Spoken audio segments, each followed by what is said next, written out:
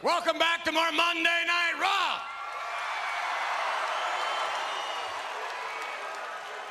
In a moment, ladies and gentlemen, a very special presentation.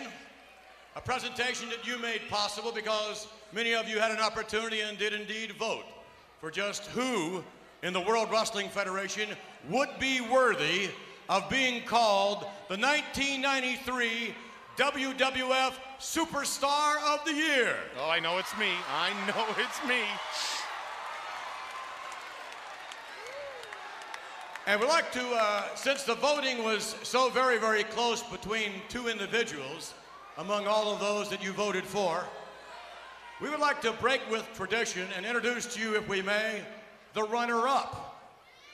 Here, ladies and gentlemen, is the runner-up for the WWF Superstar of the Year. Would you please welcome an American original, Lex Luger! Now this is gonna be good.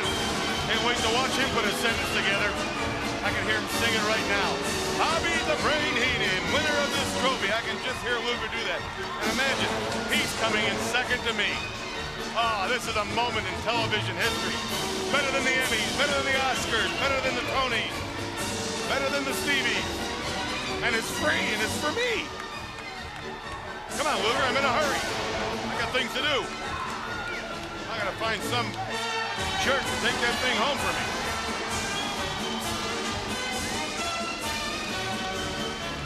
I know, don't draw it out and try to embarrass me now. All right. All right, Lex Luger, first of all, congratulations. Thank you. I know this means a great deal to you because the voting was so very, very close. Well, I'd like to take this opportunity to express my appreciation to all of you who voted for me.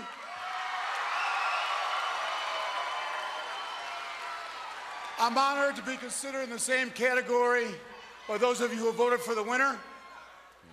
You know, every day I strive to be worthy of your support, and I try to earn your respect the best that I possibly can. I'm getting irpy.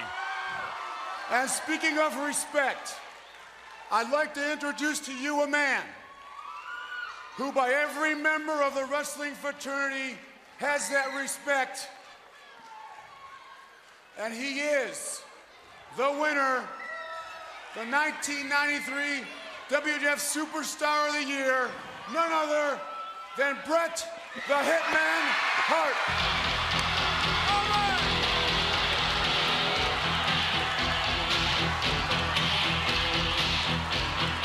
Well, I'm oh, talking about somebody stuffing the ballot box.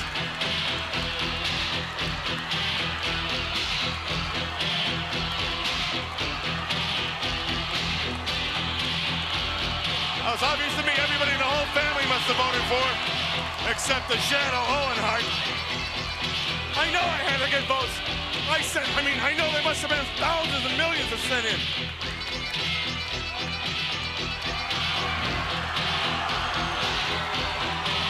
There's two Jolly Jennies.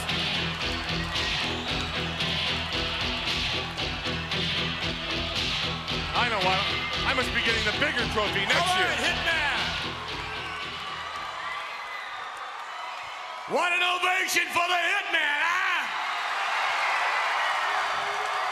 Yeah, if I'd have won it, their ears would have been bleeding. Bret, congratulations to you. A very prestigious award.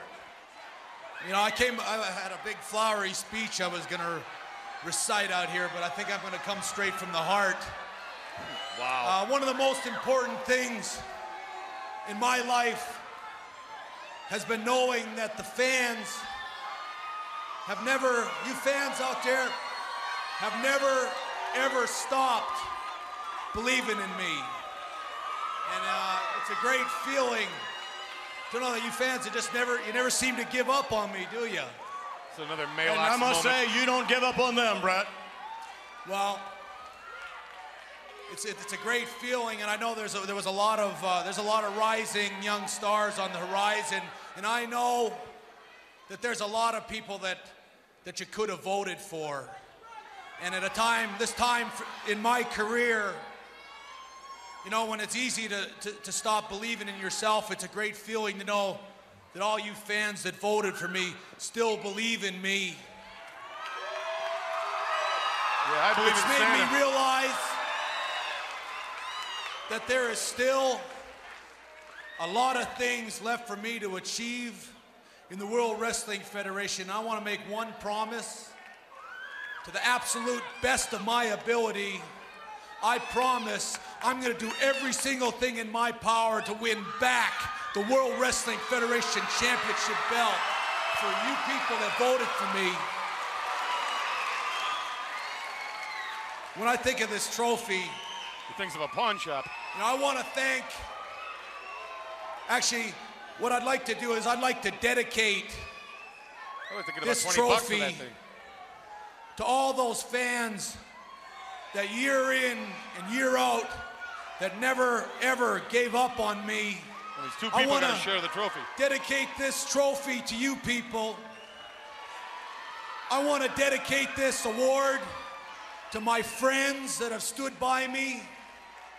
I want to dedicate this trophy especially to my family, my mother, my father, all my brothers, my sisters, my wife, my four kids at home that have all stood through the thick and the thin, the good and the bad, that have always, always taught me to stay cool, to live long, live strong, and to never hope against hope.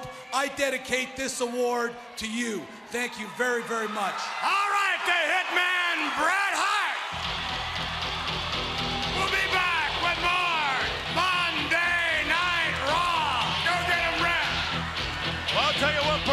not happy about it, and that's going to be Owen Hart. I can't wait to hear what he's. Hey, Owen's up next.